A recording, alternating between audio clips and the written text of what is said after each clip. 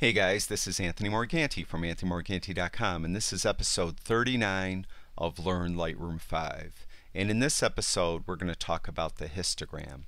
Today I received an email from someone asking me to do this video. And that's when I realized I never really did a video just on the histogram, what it is and how you could use it to process your images. So I'd like to ask all of you if you have any ideas on videos you'd like me to do feel free to email me at tony at anthonymorganti.com and I'll see what I could do. Alright, the histogram is available in the library module and the develop module of Lightroom, but we're mainly going to be talking about it in the develop module because in the library module it's just there for show. You really can't do it, um, use it to manipulate your image. Now, it's in the right hand panel, and if you don't see it, you could click on this little expose triangle and it will open up the uh, histogram panel. Also, if you go to Window, Panels, and down here to Histogram, you could toggle it open and close. If you have a PC, you could use the shortcut keys Control 0. A Mac, it would be Command 0, and that will toggle it open and closed. Alright, now I actually did this video a couple times, and I think I was getting too technical when I was explaining what the histogram is. And, you know, as photographers, we don't have to know all the nuts and bolts of these things. So I'm going to be a little more superficial, I think, when I explain what the histogram is. And um, I think it will help people watch the video right to the end instead of turning it off partway through. Really, all the histogram is, though, is a plot on a kind of a graph of every single pixel in the image. And if you have more of that exact pixel in the image, you'll get a higher spike. Now the, the histogram in Lightroom is broken down into the three composite colors, that is red, green, and blue. And you can see they're different colored uh, on the histogram. There's green there, there's red there, blue there. So we have green, red, and blue. And um, you can see there's gray there too. And what the gray is is a composite of those three uh, colors. So it's kind of an average. So we could see that every pixel gets plotted on the graph and the red pixels get plotted, the green pixels get plotted, and the blue pixels get plotted. Now you tend to not have a pixel in here that is 100% red usually or one that's 100% blue or one that's 100% green. So what it does it uses percentages and as I move my cursor over the image, if you look under here, right now it says ISO 118 millimeters, f13, 160th of a second. But if I hover over a pixel, you can see right now it's showing that that pixel is 49.6% red, 52.8% green, and 71% blue. Now, it doesn't add up to 100. It's more than 100. And I'm not going to explain that because it gets too technical.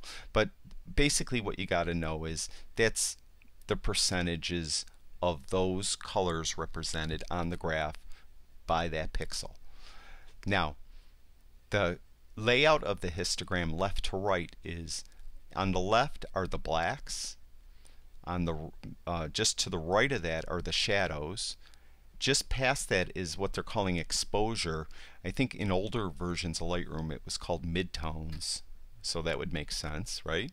We go to the right a little more and it's highlights, and then to the far right is whites. Now also as I slide across here you could see that different parts of this are kind of lighting up a lighter gray uh, going across the um, the histogram. Also if you look down here different sliders become active. So when I'm in the shadows area, the shadow slider is active. When I'm in the exposure area, the exposure shadow is active. And highlights and whites, just like that. So if I go down here and I'm going to move the highlights, you can see that part of the histogram becomes active. And that is actually the part I'm more, I guess, more so, manipulating more so than any other part, is right in here now when I move the highlights around. So that gives you an idea where you're affecting the pixels. These pixels that are considered highlight pixels are the ones that are getting uh, manipulated when you move the slider. Now, I don't just, I, I could obviously move this slider, but I could go right up here to the histogram and click down with my left mouse button When I do, the cursor disappears. So right now I'm clicking down with the left mouse button and I'm dragging it to the left. And you can see the highlight slider is moving to the left. And if I drag to the right, the highlight slider is moving to the right. So it gives you an idea of how this works, how these sliders manipulate different parts of the histogram, which actually are manipulating those exact pixels that the histogram is representing when you move these sliders. Now, the main reason or the main thing we'll use the histogram for as photographers is to see if we have any shadows clipping or we have any highlights clipping. And what clipping means is that you're making something so absolute that it has no detail in it. In the case of shadows, if you're clipping shadows, that means it's absolute black. There's no detail in it. If you're clipping whites, that means it's absolute white and you have no detail in it anymore. So there might be times where you want clipping. If you're photographing a polar bear in a snowstorm, you're going to have a lot of whites and you're going to have a lot of white out. So you're going to have clipping. So you're going to have this histogram is going to be way over here to the right and it's going to be just piled up on that way and you're going to have a lot of clipping white. If you're taking um, a photograph of a black Labrador Retriever at night, you're going to have a lot of clipping of the shadows. So the histogram is going to be way over here to the left and you're going to have a lot of uh, clipping of those blacks. And that's natural. And that I should add, I get a lot of people asking me, what's a good histogram? Well, there really is no right or wrong histogram. There is none that are that is good or one is bad necessarily. Um, it's really your own personal taste and the scene is, is going to dictate how the histogram looks. So if you are photographing a polar bear in a snowstorm, the histogram is going to be piled up to the right. That's just the way it is. And that doesn't make it wrong. That's just the way the scene is. Um, so don't worry about if your histogram is really, you know, doesn't look like you think it should, like it should be like a bell-shaped curve or anything like that. It's really scene dependent. Now, it's back to the clipping for a minute. As I mentioned, the main reason why we're using the histogram is to see if we're clipping the shadows or clipping the whites. Now what I'm going to do is I'm going to process this image like I normally do. So my exposure is fine. I usually start there, but this is exposed okay. So I'm going to bring highlights down, and I'm going to bring it down just enough till I see some detail in the marble. So it's just pure by taste right now. And I'm going to open up the shadows a little bit so I see a little bit more detail in Abraham Lincoln's face of the statue, okay? Now I'm going to set my white and black point by holding the Alt or Option key. It's Alt if you have a PC, Option if you have a Mac, oops, and I'm going to click down on the whites and I'm going to move it to the right and you can see how that starts to come through. Well, I'm going to back it off. I like to back off my whites usually till there's just about none there. That's my personal taste. And with the blacks, I'm going to do that similarly with that Alt or Option key, and I'm going to click down on that. I'm going to move it to the left. And I usually leave the blacks a little more so, so a little more blacks. Now, I'm going to bring clarity up like I typically would a little bit. I might add just a tiny bit of vibrance and I would add just a little contrast. Alright, so I'm done with the basic panel. This is where I might check clipping. And how you would do that is you would go up to the histogram and you can see there's two triangles in the corners. And if I hover over this left one, that's for shadows. And when I hover over it, you're going to see a lot of that picture just has blue on it now. So I have blue all through here, back in here, and around in here. So we're going to hover over that triangle and you can see that blue. What that is showing, it's indicating to me that that is absolute black. That's just no detail whatsoever. It's totally black in those areas.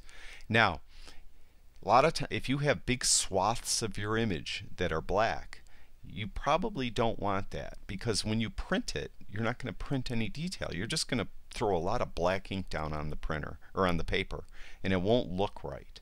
So just um, you might want to back it off then. So what you could do is you could click on this triangle and it will leave them on. See it left the blue on. Now I could go up here and I might want to um, brighten up my highlights a little more or shadows, I'm sorry, brighten up my shadows a little more and maybe brighten up my blacks a little more. Now, it's okay to have a little bit clip. That adds depth to the shot. So if you have a little bit that's clipped black and a little bit that's clipped white, that's okay. It, it really does add, add depth to the shot and your image doesn't look as flat. So if you do, you know, it's a good test though, just to see if you have anything clipping. Now you could go up here and hit this triangle again to turn it off. Also, you could toggle those triangles on and off by hitting the J key on your keyboard and it will toggle them both on or off at the same time. So you could see I do not have any um, whites clipping. So I'm going to go over here. I'm going to actually click down on that right hand um, a triangle which would show me my highlights that are clipping and I don't have any. So let's artificially uh, produce some. So I'm going to go over to whites and I'm going to turn white up. And now you can see it turned red. So whenever you have any whites that are clipping, it'll be red. So um, the blacks or shadows will be blue and the whites will be red. And that'll give you an idea of what's clipping and what isn't. And remember, you could turn those on and off by hitting the J key. So you might want it on, and I could come in here and I could take my whites down until I just don't have any clipping. I still have a tiny bit of clipping here, see? So we're going to go until we just get rid of all that clipping, let's say. And that's okay to my personal taste. So I can hit the J key again and it will turn the clipping indicators off. All right, now that's really, as photographers, what we usually use the histogram for. Now I'm going to show you one more thing. If you're into printing your own images and you need to get lab values. Now I don't know much about this because I don't print my own images, but it's real easy to get what they're calling lab values. As you go over the histogram and you right click on it and a little menu pops up. And you could go down here and show lab color values. Now, now look at the bottom of the image. When I hover over any pixel it's not showing R, G and B anymore. It's showing L, A and B. And these are the lab values that you may need when you're printing an image. So that just gives you that idea of you know that or that know-how of how to get these lab values. You then could go right over here and you could right click again and just click reset and it will reset everything to you know the to what it should be let me turn those lab values off. And uh, then you could get RG and B. See? Okay, so if you ever um,